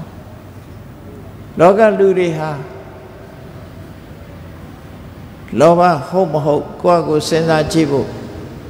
လောဘသည်တရားသလားမတရားဘူးလားဆိုတာကိုယ့်ကိုစဉ်းစားကြည့်ရမယ်လူတွေဟာပြောလို့ရှိကြတယ်မဟုတ်လားအချစ်နဲ့စစ်တယ်နော်မတရားတာမရှိဘူးလို့ပြောကြပြန်တယ်အဲ့တော့လောဘဆိုတာ ကိုလိုချင်ပြီဆိုလို့ရှိရင်ရအောင်လုပ်ကြပြန်ကာဝယ်ကြတယ်ကိုကျိုးစီဝါကာဝယ်ဖို့လက်နဲ့တေးကင်ကြတယ်အဓိကလက်တယ်ကတော့လောဘပဲလောဘကြောင့်တဝမ်းတစ်ခါစားရယုံမြမကအပူသိမ့်စီလာကြတဲ့လူလောကကြီးကိုချစ်ချစ်နော်လူလောကကြီးကိုချစ်ချစ်အိမ်တစ်လုံးကနှလုံးမြေတစ်ခွက်ကနှစ်ခွက် ကားတစ်စီးကနှစ်စီးစွာလို့တဖြည်းဖြည်းတိုးချဲ့လာတာသာရှိတယ်မရသေးတဲ့လူကလည်းရချင်တယ်ရပြီးသားလူကလည်းထပ်ရချင်တယ်လောဘဟာအဆုံးသတ်တယ်ဆိုတာမရှိဘူးဒါကြောင့်မို့လောဘကိုဥပမာပေးတဲ့အခါမှာမီးနဲ့အလားသဏ္ဍာန်တူတယ်တဲ့မီးဆိုတာလောင်စာထဲ့ခြင်းတော့ထဲ့လောင်မှာပဲ မီးကငါမလောင်နိုင်တော့ဘူးတော်တော့နောက်ထပ်မထဲကြနဲ့တော့လို့ဘယ်တော့မှမငင်းဘူးထဲသမျှသူ့လောင်မှာပဲနောက်တစ်ခုကပင်လေကြီးနဲ့အလားသဏ္ဍာန်တူတယ်ပင်လေတဲ့လေမြစ်တွေချောင်းတွေကရေတွေကစီးဝင်တယ်ပင်လေကြီးကမငင်းဘူးမတတ်နိုင်တော့ဘူးငါစီမစည်းဝင်လာကြနဲ့တော့ငါမဆန်းတော့ဘူးလို့မပြောဘူးလာလာသမျှလက်ခံတာ လောဘရဲ့သဘောဟာအဲ့တိုင်းပဲတဲ့နော်လာသမျှလက်ခံမယ်ဘီလီယံနာဘီလီယံနာကနေဘီလီယံနာထရီလီယံနာနော်အဲ့ဒါလို့လူတွေဟာလောဘဆိုတာအတော်တတ်သွားတာမရှိဘူးသူတို့ဆိုလို့တယ်ပေါ့လောဘအတော်မတတ်လို့ကိုယ်ပိုင်ဆိုင်မှုတွေကိုတိုးချက်ကာကွယ်ဖို့ရလက်နက်တွေတိုးချက်နဲ့ လူလောကကြီးဖြစ်နေတာကိုကြည့်တရားမမျှတာမှုတွေဟာကြီးပွားတိုးတက်လာတယ်ဆိုအဲ့တော့မြတ်စွာဘုရားကဖြေလိုက်တာလောဘကြောင့်လို့ဒီလိုပဲဖြေလိုက်တယ်လောဘသည်တရားမျှတမှုကင်းမဲ့တာတွေကိုမမျှတမှုတွေကိုဖြစ်စေတယ်လို့ဒီတလုံးနဲ့နဲ့ပဲဖြေထားတယ်တေချာချက်ကြည့်မယ်ဆိုရင် လောကမှာမတရားမှုတွေကလောဘကြောင့်ဖြစ် မတရားမှုဆိုတဲ့ထဲမှာထင်ရှားတာကိုကြည့်လိုက်မယ်ဆိုရင်ဥပရိရဲ့စံကြမဲ့လောရတည်းလောဘကြောင့်နေစဉ်နဲ့အမြရာဇဝမှုတွေခိုးမှုတွေလူရဲမှုတွေတိုက်ခိုက်မှုတွေဆိုတာဒါလောဘကြောင့်ဖြစ်တာတွေကြည့်ပဲကွန်ဒါကြောင့်မို့ဒီလောဘတစ်ခုဟာလောကကြီးတစ်ခုလုံးကိုတရားမြတ်တမှုကင်းမဲ့နေအောင်သွေးဆောင်ဖြာယောင်းနေတဲ့ ရှင်တွေကတရားဆိုတစ်ခုပဲဖြစ်တယ်နောက်တစ်ခုကဘာလို့ဆိုရင်ဒေါသမုန်တိမှုမုန်တိမှုအလိုမကျမှုဟာလည်းပဲတုံးနဲ့တူအစမပြေမှုတွေကိုဖြစ်ပေါ်စေတတ်တယ်အစမပြေမှုတွေဖြစ်စေတာဖြစ်လာတဲ့နဲ့တပြိုင်နက်လူတွေဟာတယောက်တယောက်ဒုက္ခရောက်အောင်လှုပ်လာကြတယ် ကနေပြောနေကြတယ်ဂျင်းထဲတယ်ဆိုတာအဲ့ဒါမုန်းတိမှုကြောင့်နော်မုန်းတိမှုကြောင့်တယောက်တယောက်ဒုက္ခရောက်အောင်လှုပ်လာတယ်အဲ့ဒါလို့ဒေါသဟာလည်းပဲတရားမြတ်တမှုကင်းအောင်ဖြစ်စေတဲ့အကြောင်းတရားတွေမှာကြီးမားတဲ့အရာတစ်ခုဖြစ်အမုန်းတရားကိုအခြေခံပြီးတော့နော်ခုခေတ်ခဏနာပြောတာ hate speech ဆိုတာနော် ပါဇက်ကဆဲလို့အာမရလို့လက်နဲ့ရေးပြီးတော့လက်နဲ့ရေးပြီးတော့ Facebook ထဲကဆဲသေးတယ်လေ hate speech ဆိုအဲ့တော့ပါဇက်ကဆဲုံနေမကဘူးလက်ကပါရေးပြီးတော့ဆဲတာမျိုးတွေဖြစ်လာတယ်ဒါဘာကြောင့်လို့ဆိုရင်ဒေါသကြောင့်ပဲလောကလူတွေတယောက်နဲ့တယောက်မတည့်ကြဘူးဒုက္ခပေးကြတယ်ဆိုတာဒေါသပဲ ဒီဒေါသသည်တရားမမြတ်တမှုတွေကိုဖြစ်ပေါ်စေတယ်နောက်တစ်ခုကဘာလို့ဆိုရင်မောဟမောဟဆိုတာလှုပ်တဲ့နာနဲ့မလှုပ်တဲ့နာပြောတဲ့နာနဲ့မပြောတဲ့နာတွေးတဲ့နာနဲ့မတွေးတဲ့နာကိုမရွေးချယ်တတ်တာနော်တမန်အပြင်လူတွေကကိုယ့်ကိုသိတယ်လို့ထင်တယ်မသိ မပြောတဲ့နာပြောလိုက်ရင် ပြဿနာတက်သွားတယ်မလုံးတဲ့နာလုံးလိုက်ရင်လုံးတဲ့နယ်လို့ထင်ပြီးလုံးလိုက်ရင်ပြဿနာတက်သွားပြောတဲ့နာကြတော့မပြောဘူးမပြောတဲ့နာကြတော့ပြောတယ်မလုံးတဲ့နာကြတော့လှုပ်တယ်လှုပ်တဲ့နာကြတော့မလှုပ်ဘူးဆိုတဲ့အခါ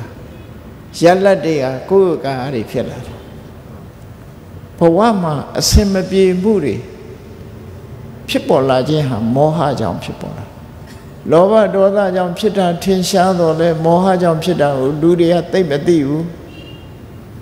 စီမံကိန်းတွေမှားတယ်စီဝါရေးလှုပ်တာစီဝါရေးလမ်းကြောင်းတွေမှားတယ်ဆင်းရဲကုန်တယ်ဆိုတာဒါမောဟကြောင့်စီမံအုပ်ချုပ်မှုတွေမှားရွံ့နေမောဟကြောင့်နော်မလို့တဲ့နာတွေလှုပ်တယ်မပြောတဲ့နာတွေပြောတယ်မောဟကြောင့်မောဟကလည်းပဲ တရားမမြတ်တမှုတွေကိုဖြစ်ပေါ်စေတဲ့နေရာမှာအင်အားကောင်းတဲ့အကြောင်းတစ်ခုပဲလို့မြတ်စွာဘုရားကသူ့တဲ့အရင်ကြတာမရှိတော့ခြေမြစ်ကိုဟောပြတာပဲဖြစ်တယ်နော်ခြေမြစ်ကိုနောက်တစ်ခုကတော့ဘာလို့ဆိုရင်အာယောနိသောမနတိကာရလူတွေရဲ့နှလုံးသွင်းဆင်ခြင်မှုကမမှန်ကန်ကြဘူး အာယောနိသောမနတိကာရကိုအင်္ဂလိပ်လို unwise attention လို့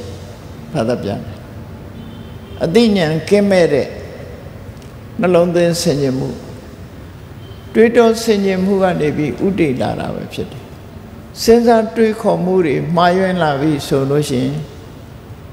မတရားမှုတွေဖြစ်လာတယ်ဒါကြောင့်မို့အာယောနိသောမနတိကာရဆိုတဲ့ စဉ်းစားတွေးခေါ်မှုတွေမှားယွင်းလာခြင်းဟာလည်းပဲလောကမှာတရားမမျှတမှုတွေကိုဖြစ်ပေါ်စေတယ်တဲ့တရားမမျှတမှုတွေကိုဖြစ်စေတယ်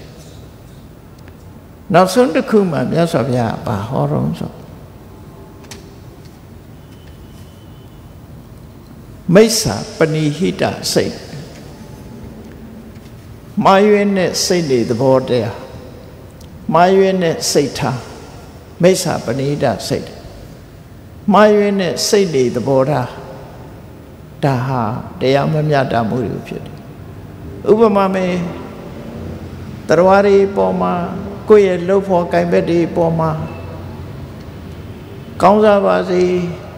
သူစ조사တာတွေအားပေးမယ်ဖြစ်ပါစေအဆင်ပြေပါစေဆိုတဲ့မှန်ကန်တဲ့စိတ်တွေသဘောထား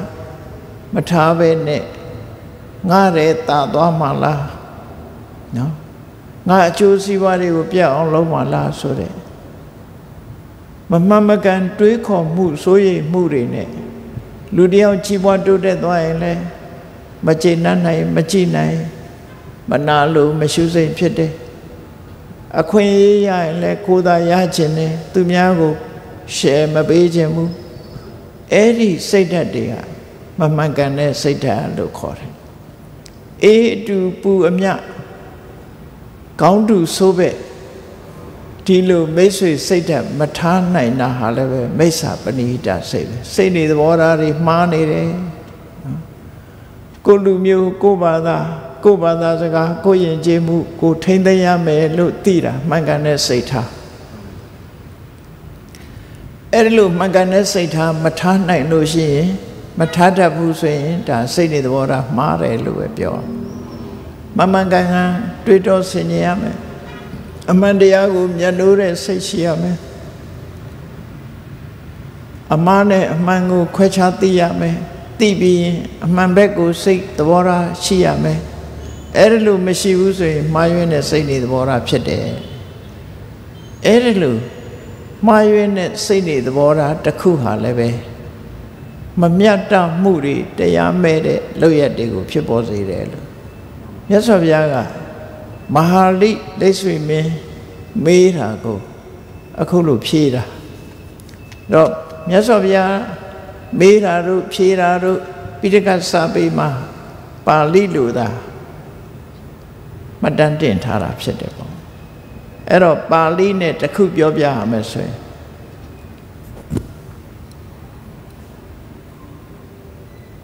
လောဘောဟေတုလောဘောပစ္စယောပပတ္တကမ္မတကရိယာယမကောင်းတဲ့အလုပ်ကိုလုပ်ဖြစ်ဖို့အတွက်လောဘဟာအကြောင်းပဲလောဘဟာအထောက်အကူပဲလို့ဒီလိုဆိုလိုတယ်မြတ်စွာဘုရားအဲ့တော့လောဘတွေဒေါသတွေမောဟတွေအာယောနိသောမနတိကာရဆိုတဲ့မမှန်မကန်နှလုံးသွင်းမှုတွေ မိစ္ဆာပဏိဟိတစိတ်လို့ခေါ်တယ်စိတ်သဘောထားမမှန်ကန်မှုတွေဟာ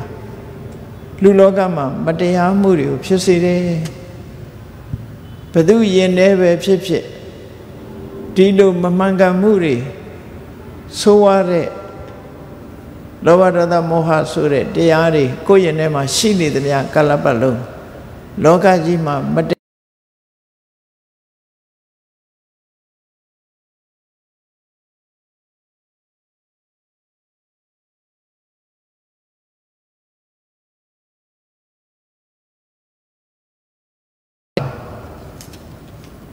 ကောင်းတဲ့အလုတ်တွေနော်တရားမြတ်တမှုတွေအေတူပူမြမေတ္တာစိတ်သဘောတရားတွေဘာကြောင့်ဖြစ်ရသလဲလို့ဒီမေးခွန်းကိုတော့မြတ်စွာဘုရားကလောဘရဲ့စัจจิမဲ့အလောဘအလောဘဆိုတာကိုယ်သာသုံးမယ်ဆိုတဲ့စိတ်ဓာတ်မရှိဘူး generosity နော်ရေရောတယ်အလုံးနဲ့မြတ်တာနိုင်တယ်ဆိုတဲ့စိတ်တွေသဘောထားအဒေါသအလုံးပေါ်မှာအကျိုးစီးပွားလိုလားတယ်ဆိုတဲ့မေတ္တာသဘောတရားအမောဟဘယ်အလုပ်ပဲလုပ်လို့ဘယ်စကားပဲပြောပြောဘယ်လိုပဲတွေးတွေးစင်ကြယ်ုံတရားနဲ့လှုပ်တင်တာနဲ့မလှုပ်တင်တာခွဲခြားသိမြင်ပြီးတော့ တတိတံစင်ဆိုတဲ့အသိဉာဏ်နဲ့ရှင်ပြီးတော့လှုပ်တယ်ယောနိသောမနတိကာရ wise attention မမှန်ကန်ကန်တွေးတတ်တယ်မမှန်ကန်ကန်စဉ်းစားတတ်တယ်ဆိုရယ်ယောနိသောမနတိကာရတမ္မာပဏိဒစိတ်ဓာတ်အလုံးပေါ်မှာမှန်ကန်တဲ့စိတ်တွေသဘောထားအဲ့ဒီအလောဘအဒေါသအမောဟ အလောဘဆိုတဲ့ရေရောမှုအဒေါသဆိုတဲ့မေတ္တာအမောဟဆိုတဲ့ပညာယောနိသောမနတိကာရဆိုတဲ့မှန်ကန်တဲ့အတွေးခေါ်တမ္မာပဏိဒစိတ်ဆိုတဲ့မှန်ကန်တဲ့စိတ်နေသဘောထားတဲ့အဲ့ဓာတွေရှိပြီဆိုရင် လောကမှာတရားမြတ်တမှုတွေဖြစ်လာနိုင်ပါတယ်အဲ့တော့မြတ်စွာဘုရားကဏိကုံးချုပ်အနေနဲ့ ဘာပြောလိုက်လဲဆိုရင်နှစ်ခုပေါင်းလိုက်တဲ့အခါမှာအကောင်းနဲ့အဆိုးအဆိုးဘက်ကို၅မျိုးအကောင်းဘက်က၅မျိုးအဆိုး၅မျိုးကလောဘဒေါသမောဟအာယောနိသောမနတိကာရမိစ္ဆာပဏိဟိတစိတ်အကောင်းဘက်ကအလောဘအဒေါသအမောဟယောနိသောမနတိကာရ တမ္မာပဏိဟိတစိတ်လို့အဲ့ဒီလိုအကောင်းဆုံးနှမျိုးခွဲလိုက်ပြီးစုစုပေါင်းလိုက်တဲ့အခါမှာတရား10မျိုးလို့ဆိုလို့တယ်ပေါ့အဲ့ဒီတရား10မျိုးရှိနေခြင်းကြောင့်လောကမှာတရားမြတ်တာမှုဆိုတာလည်းဖြစ်တယ်မတရားမှုဆိုတာတွေလည်းဖြစ်နေတယ်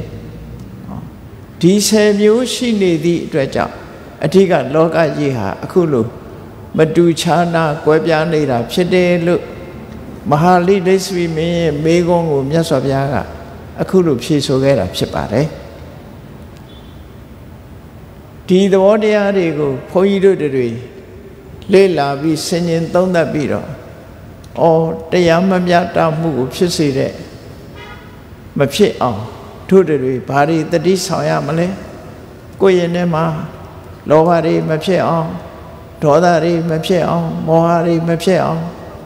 ဒါတွေတတိဆောင်ရမှာဖြစ်တယ်မှန်ကန်တဲ့အတွေ့ခေါ်တွေးနိုင်အောင်မှန်ကန်တဲ့စိတ်နေသဘောထားထားနိုင်အောင်တို့တွေကြိုးစားရမှာဖြစ်တယ်ဖယ်ရမယ့်ဟာဖယ်ရှားရမယ့်အရာတွေကိုတို့တွေဖယ်ရှားပြီးကိုယ့်ရင်ထဲမှာနော်ရေရောတဲ့တွေ့တာမှုကင်းပြီးရေရောတဲ့အလောဘ ချင်းချင်းပေါ်မှာမေတ္တာထားနိုင်တဲ့အဒေါသအရာရာကိုဆင်ញင်သုံးသပ်နိုင်တဲ့အမောဟမှန်ကန်စွာတွေးတောနိုင်တဲ့ယောနိသောမနတိကာရမှန်ကန်တဲ့စိတ်နေသဘောထားဆိုတဲ့တမ္မပဏိတစိတ်ဒါတွေကိုမွေးမြူခြင်းအပြင်တို့တွေတို့ဘဝတို့ရဲ့ပတ်ဝန်းကျင်မှာတရားမမျှတမှုတွေကကင်းဝေးပြီးတော့ တရားမျှတမှုတွေကိုတည်ဆောက်နိုင်မှဖြစ်တယ်ဆိုတာကိုမြတ်စွာဘုရားရဲ့အဆုံးအမနဲ့အညီလိုက်နာကျင့်သုံးကြရမှာဖြစ်ပါတယ်တရားချစ်ခင်သူတော်စင်ပြိဿအပေါင်းတို့မြတ်ဗုဒ္ဓရဲ့အဆုံးအမသည်အလုံးအတွက်ဖြစ်တယ်လိုက်နာသူတွေရဲ့အတွက်ဖြစ်တယ်မြတ်စွာဘုရားရဲ့ဆုံးမသည်ယောဂပြောက်စေတတ်တဲ့ဆေးနဲ့အလားတရံတူတယ် ဆေးသည်တောက်သူအတွက်ကျိုးဖြစ်တယ်မတောက်တဲ့ပုဂ္ဂိုလ်အတွက်ကျိုးမဖြစ်ဘူးမြတ်စွာဘုရားရဲ့အဆုံးအမကလည်းလိုက်နာကျင့်သုံးသူအတွက်ကျိုးဖြစ်တယ်ဒါကြောင့်တတိနဲ့ရှေးဥစွာဒီအချက်လက်တွေကိုအာယုစူးစိုက်မှတ်သားထားပြီးအသိပညာနဲ့အ내ဒိဗ္ဗေနားလဲတာကိုယ့်ရဲ့ဘဝမှာမေတ္တာပို့ရအောင်ကဲ တတဝါများစွာပိယံကွာချမ်းသာကြပါစေတတဝါများစွာပိယံကွာချမ်းသာကြပါစေမေတ္တာရည်ချမ်းသုံးငါဖြံငြိမ်းချမ်းကြပါစေ မေတ္တာရေချမ်းသုံးငါဖြံငြိမ်းချမ်းကြပါစေသက်ရှိကျမ်းမာစိတ်ချမ်းသာတို့ရဆန္ဒပြေပါစေသက်ရှိကျမ်းမာစိတ်ချမ်းသာလိုရဆန္ဒပြေပါစေ ဖုံလန္တာဒုက္ခပင်ကစားမေတ္တာပုံနေတုသင်္ကမာမနောတရတိတဗေတံဘဝယန္တုဒုက္ခန္တကမေတ္တာပုံနေတုသင်္ကမာစုပေါင်းပုအမေတ္တာတဟုရောင်မြူပဝင်းငွေလာမင်းနှင့်ရောင်ခြင်းရှဲယုံပေါင်းဆောင်ရခြင်းကြောင့်သဗ္ဗေတံကျွေးမဲ့ဥသုံးလုံးစုံများစွာတတ္တဝါတို့၏ မနောတရတိမြင်များဖြူစင်အေးကြည်လင်းသည့်ရေစင်ပြည့်တင်းစိတ်နှလုံးတည်ဟုသောရေအိုင်ကြီးအတွင်၌ဒုက္ခပင်ကစားစင်ထာဝရအေးမြကြည်သာတာယာပွင့်လန်းချမ်းသာဒုက္ခအတိဟုသော ကုမုဒ္ဒရာကြာပါတို့သည်ဖုံးလန္တဝန္တရွှေမြူဝမုံလူလျက်ကြည်နူးပွဲကြုံဖူးပွင့်ညကုန်သည်ဖြစ်၍ဒုက္ခနကလျောင်းလေးတဲ့ရောရှက်သင်ပြ ပိဋိတိဟုသောယနံတို့သည်ပဝါယံတုကောင်းစွာမသွေကြိုင်လိုက်၍နေကြပါစေကုန်တည်း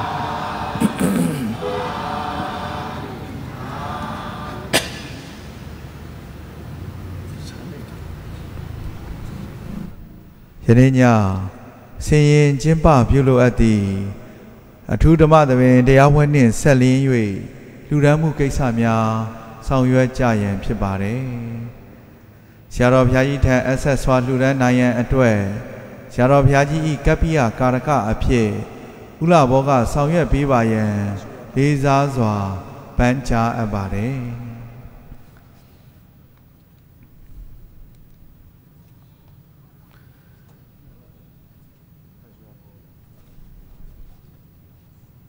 ။ယနေ့ည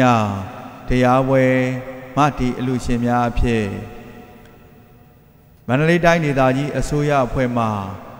ဆရာတော်ဘုရားကြီးထံနဝကမ္မအလူတော်ငွေ9သိန်း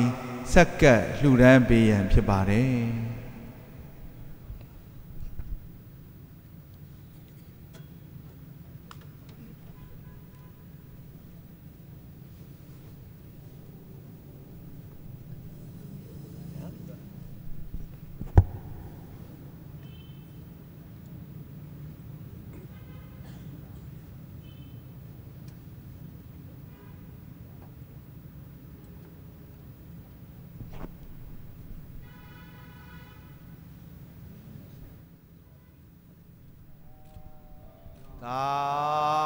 ဓုသာဓုသာဓု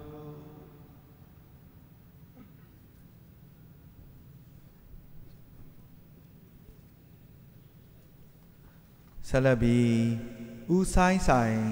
ဒေါ်နန်းမြစိန် Pai Brothers International Trading Company Limited မှသင်္ကန်းလှူဝယ်နှင့်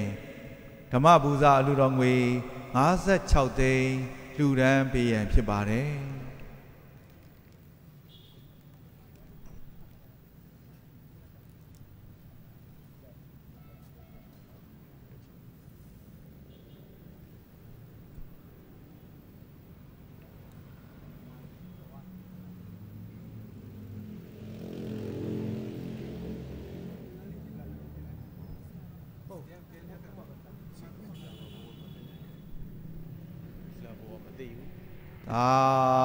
ဓု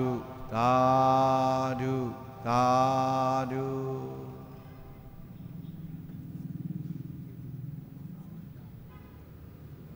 သာဓုသာဓုသာဓုဆက်လက်ပြီး Pai Brother International Trading Company Limited ဝန်ထမ်းမိသားစုများမှစုပေါင်းလူဒန်းငွေနဝကမ္မ 9သိန်း6000ကျပ်လှူဒန်းပေးရန်ဖြစ်ပါတယ်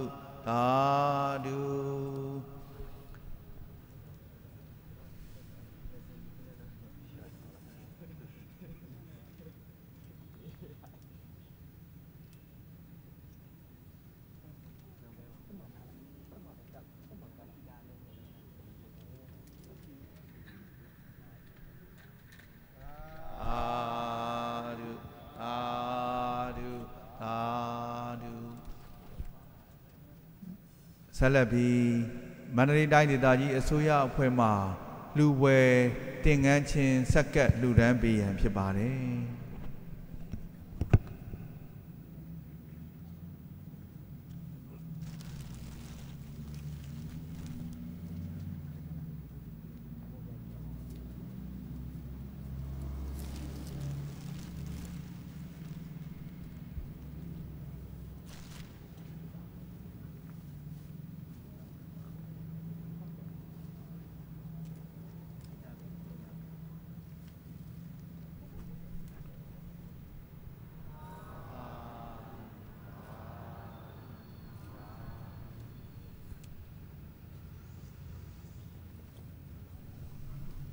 သာဓုသာဓုသာဓုဆက် လက်ပြီးယနေ့ညတရားနာပြည့်သက်ပေါင်းသူတော်ကောင်းတို့ဤအများပေါင်းစုလူဒန်းငွေ30 4000 3500ကျပ်တို့အားအများကိုစားချမ်းတိုင်းရင်သားများတာရေးနာရေးအသင်းဒုတိယဥက္ကဋ္ဌဦးဆိုင်အောင်ညွန့်နှင့်ဗန္နာရေးမှုဦးဆိုင်ထွန်းရီတို့မှအများကိုစားလှူဒန်းပေးရန်ဖြစ်ပါတယ်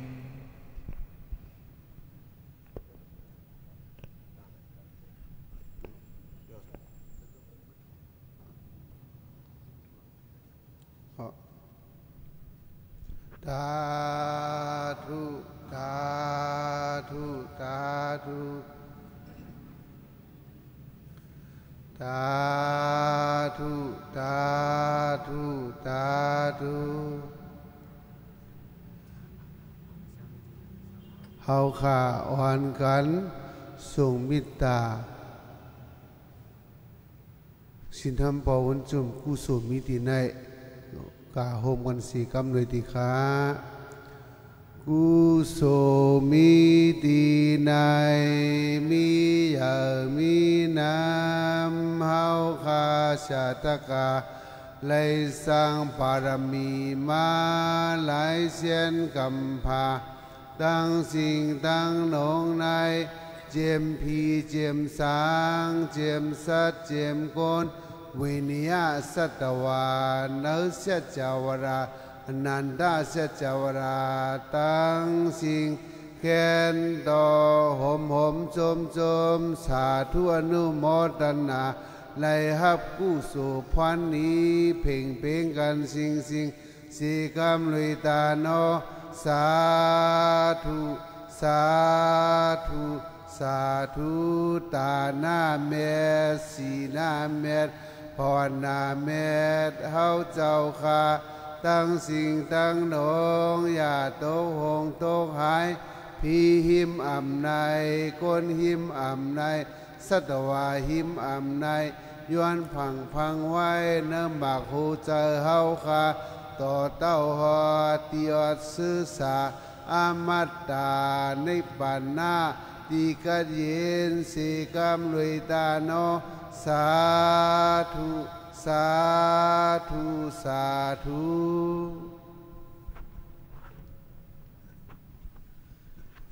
ကျေးဇူးရှင်ဆရာတော်ဖျားယနေ့ညလူတိုင်းရပါသော ကောင်းမှုအဆုစုတို့အတွက်တရားလူရှင်များနှင့်တကွတရားနာပိသက်ပေါင်းသူတော်ကောင်းတို့နှင့်အတူ32ဘုံကျင်လည်ကုန်သော လူနတ်မြမဝေနိယတတ္တဝါအပေါင်းတို့အား ကုသိုလ်အမြကိုယ်စီရရှိကြစေရန်အလွတ်ငါရေစသွန်းချဝေမျှလိုကြသည်ဖြစ်ပါ၍ရေစချတရားဟောကြားချီးမြှင့်တော်မူပါယံခြေတော်အစုံဥခိုက်၍ယိုသေးစွာလျှောက်ထားအပ်ပါသည်ဖျားအလုံးဆိုကြမယ်အရှင်ဖရာဖရာတပည့်တော်တို့သည်ဓမ္မအတိညာရှားရှိမှသာလင် နိဗ္ဗာန်ချမ်းသာကိုမျက်မှောက်ပြုနိုင်ပါသောကြောင့်ဓမ္မအတိညာရှားရှိစေရန်ရှိတန်ကြလျက်ဓမ္မသဘင်ဆင်းရင်ကျင်းပါပြုလုပ်ကြ၍အမတဒါနာဓမ္မဒါနာ တရားအလှူတော်ကိုပေးလူကြပါကုန်၏တရားတော်မြတ်ကိုရိုသေလေးမြတ်စွာမမတ်သားသာအာယုန်ထားလျက်နာကြားကြပါကုန်၏တရားတော်မြတ်ကိုတတဗဝတ္ထုအဆုစုတို့ဖြင့် ပူဇော်ကြပါကုန်၏ယနေ့ယခုအာထုတ်ပြုလုပ်ကြရသောတရားဟောရခြင်းဓမ္မဒေသနာတရားနာရခြင်းဓမ္မသဝနာတရားတော်ကိုပေးလူရခြင်း ဓမ္မဒါနာတရားတော်ကိုပူဇော်ရခြင်းဓမ္မပူဇာကုသိုလ်စေရနာအဖြာဖြာတို့သည်ဒုက္ခခတ်သိချုပ်ငြိမ်းရမှန်ယနိဗ္ဗာန်ဤအကြောင်းထောက်ပံ့ဖြစ်ပါစေသာ အရှင်ဖျားဤကောင်းမှုဤအဖို့ဘာကကိုအမိအဖာအဖိုးအဖွာဆရာသမားမဆာ၍ကဘာသူကဘာသာလူနတ်မြမတတ္တဝါများတို့အားအမြအမြ ဝေငှပါကုန်၏ကုသိုလ်အမြကိုယ်စီရကြကုန်သည်ဖြစ်၍ကိုယ်စိတ်နှဖြာချမ်းသာကြသည်ဖြစ်ကြပါစေကုန်သတည်းသာကြသမျှအမြအမြမြ ရှုတော်မူကြပါကုန်လောအာအာဒုအာဒုအာလုံးသာကြသမျှမြအမြပြုတော်မူကြပါကုန်လောသာဓုသာဓုသာဓုအလုံး ကြာကြာသမျှအမြအမြမြပြုတော်မူကြပါကုန်လောသာဓုသာဓု